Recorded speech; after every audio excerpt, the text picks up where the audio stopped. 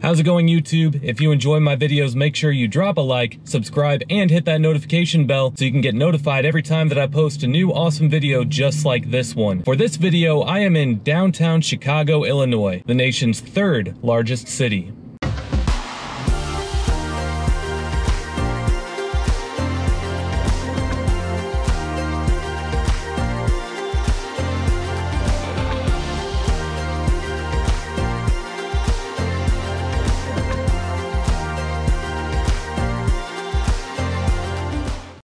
How's it going everyone? If you enjoy this video, make sure to drop a like, subscribe, and hit that notification bell so that you can be notified every time that I upload new and amazing content just like this video. Downtown Chicago is home to the United States' second largest collection of skyscrapers after New York and is currently the country's third largest city. In this video I show you around downtown Chicago.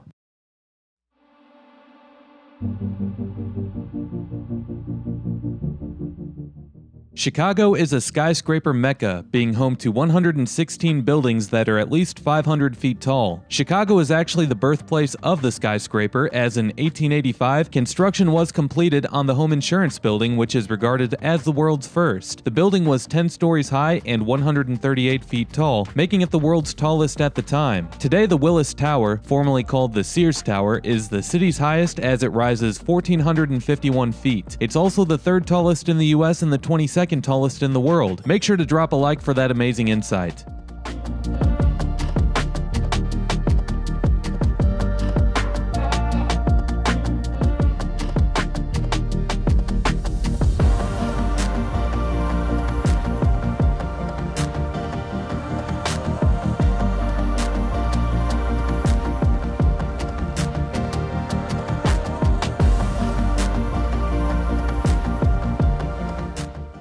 Downtown Chicago has a population of 22,000 and hosts around 480,000 jobs, which means that downtown Chicago sees on average over 400,000 people commute to it daily. The Chicago Loop has an average daily ridership of just under 75,000. And now I've looked up several lists of the most traffic congested US cities, and every list that I've found has had Chicago in the top 10 somewhere. However, I've seen it come in second place, seventh, eighth place, so who freaking knows, man? However, you can't say that Chicago isn't a city full of traffic jams. It most certainly is when given normal circumstances.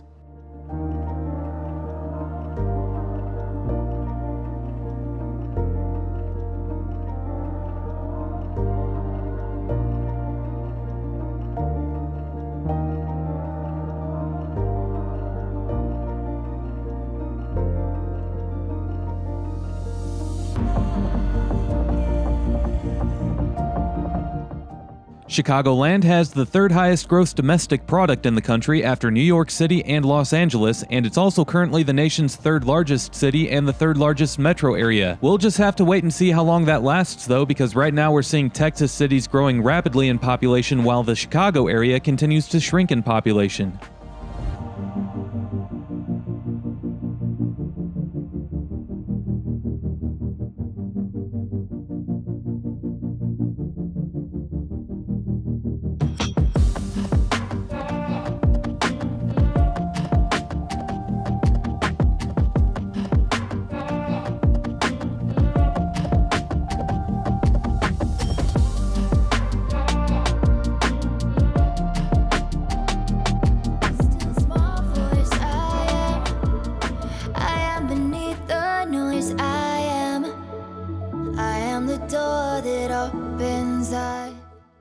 On the left ahead is the Goodman Theater, founded in 1925 and is the oldest active nonprofit theater organization in Chicago. The theater moved to its current Dearborn Street location in the year 2000. Chicago is home to more than 200 small theater companies. Make sure to drop a like for that amazing insight because we all know that you didn't know that before.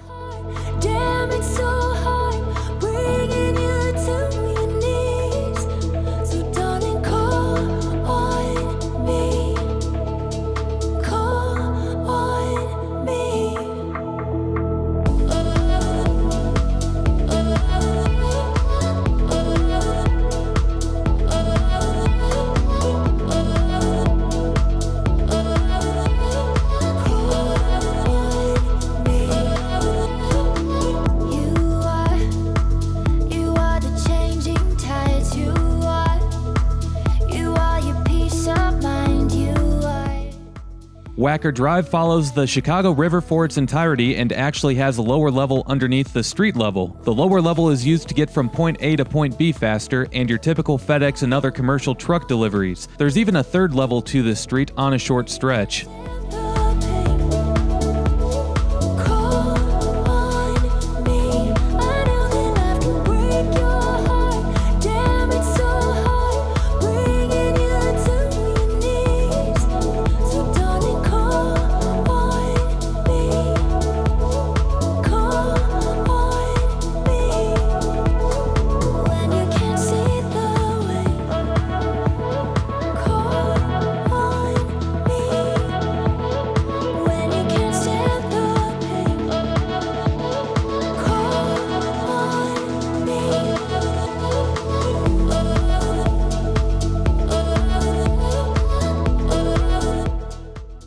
Chicago is world famous not only for the amount of skyscrapers that it holds, but also for the architecture that it's able to showcase through its many buildings and art displays. Streetscape architecture is another aspect to it, and you'll see some of the city's beautiful lakeside parks later in the video.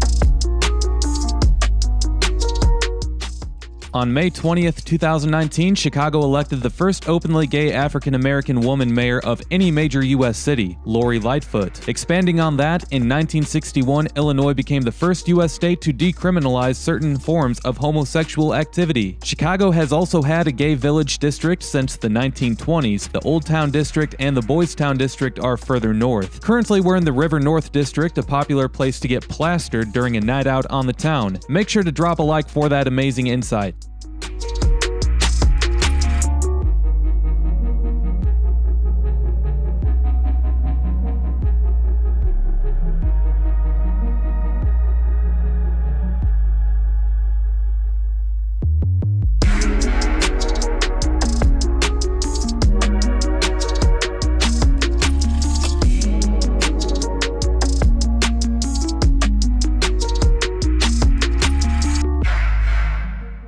As you will see in many of my upcoming videos, Chicago is very different from the rest of Illinois. Much of Illinois and many of the cities located in the state are facing very harsh economic conditions even before the illness shut down the entire country's economy. Illinois sees the second highest property taxes in the country, and that has contributed to the land of Lincoln being estimated to lose more people than any other state during the last decade. The divide between Chicagoland and the rest of the state is so great that Republicans wanted the state to be split into two at one point. That obviously won't happen, and that's been a common debate with a few other states in our country as well. Illinois is home to 12.6 million residents as of 2020, in which 8.5 million or so of the state's population lives in Chicagoland, which is largely Democratic. That's 67% of the state's population, and that makes it easy for the politicians to not put the best policies in place for the smaller and rural communities that make up most of the state's land area. It doesn't help that other nearby states such as Indiana, Wisconsin, and Missouri all offer better environments for home ownership and small businesses.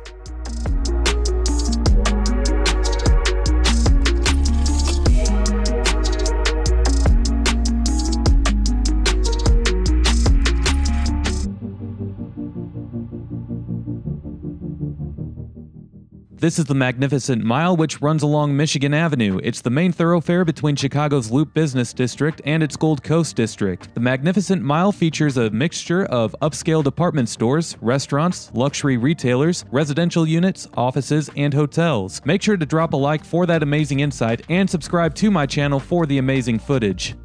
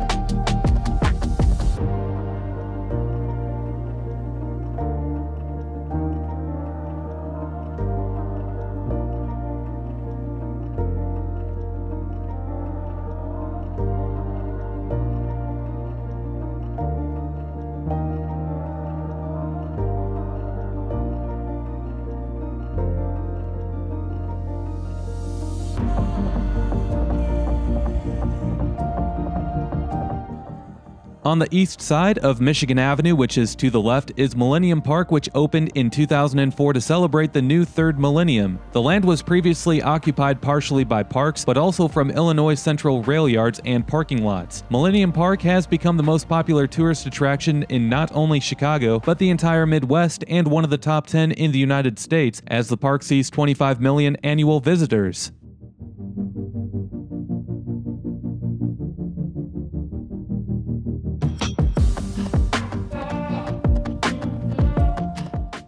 On the east side of the road here is the Art Institute of Chicago.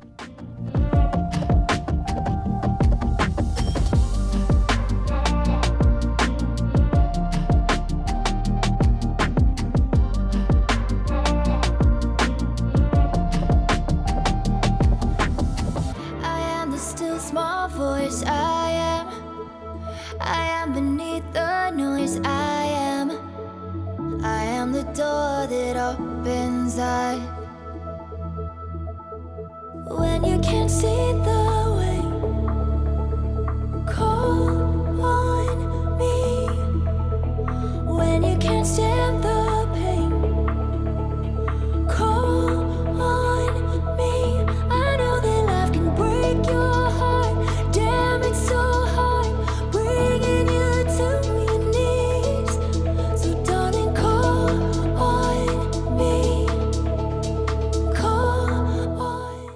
Before I forget to mention this, just about every traditional major U.S. city that is not on the East Coast or the West Coast has lost population over the years. Chicago is no exception, as the population peaked in 1950 at 3.6 million. Today, the city is home to 2.7 million, which is nearly a million less people from the 1950 peak.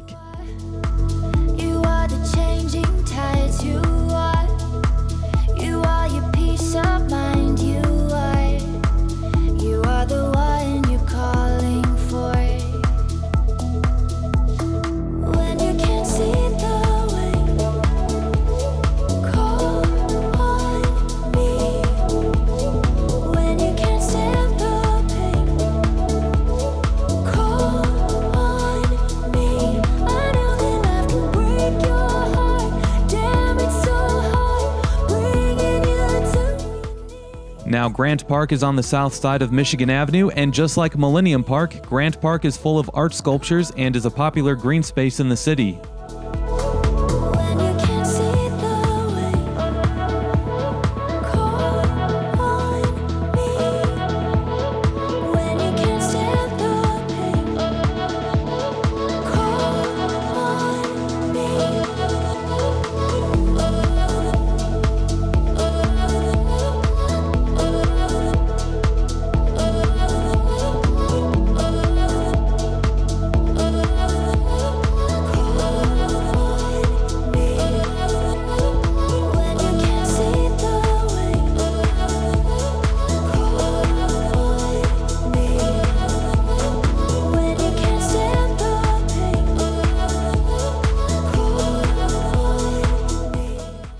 Straight ahead, at the end of Roosevelt, is the Shedd Aquarium.